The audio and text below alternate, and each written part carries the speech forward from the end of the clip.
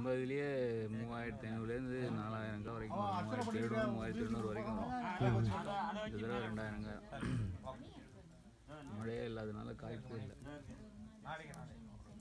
அந்த மாதிரி போட்டோம்னா கூட நம்ம அரைக்கும் போது பண்ணிக்கலாம். தேங்காய். தேங்காய் இங்கே வந்துட்டு கொப்பரைக்காய் வாங்கப்படும்னு போட்டால் கூட ஆட்டோமேட்டிக்காக அங்கே வந்துக்கிட்டு ஒவ்வொரு கடைக்கும் ஒவ்வொரு வித்தியாசம் இருக்குது.